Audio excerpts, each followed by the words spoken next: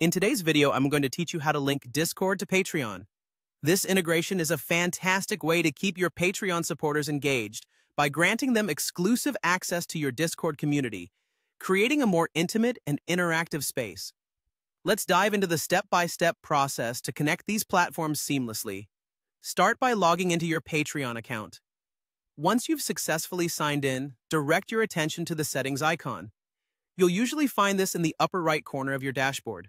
Click on it, and it will open up a range of options for you to explore. When you access your settings, you're essentially entering the control center of your Patreon account, where you can handle everything from account management to integrations like we're doing today. Next, look for the More button. It's typically represented as a drop-down menu, so keep an eye for an arrow or a similar icon. The drop-down menu will reveal several more options for you to choose from. Select Connected Apps from this list.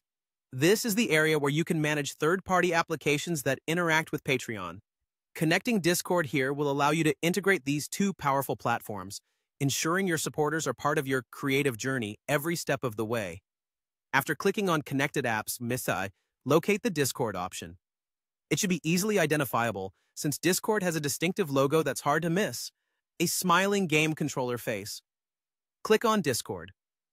This next step is crucial for setting up the link between your Discord server and Patreon account. Now, you'll see an option to connect your Discord account. Clicking Connect will start the process of linking the two services.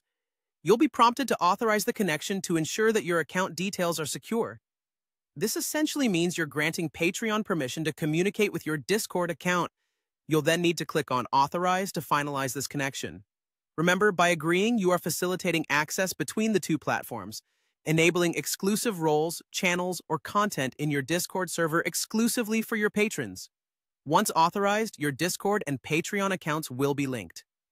This allows you to automate the process of assigning roles to patrons on Discord and opens up new avenues for fostering a vibrant community space where your supporters can interact not just with you, but also with each other. And that's it. Following these steps, you've successfully linked Discord to Patreon. Now, Discord can recognize your patrons and automatically provide them with the access and roles you've set up, reflective of their tier. It's a simple yet powerful way to ensure your supporters get the recognition and engagement they deserve, and it creates a seamless experience for everyone involved. Thank you for following along, and I hope this guide has been helpful. Encourage your patrons to join your Discord server now and start engaging with your community.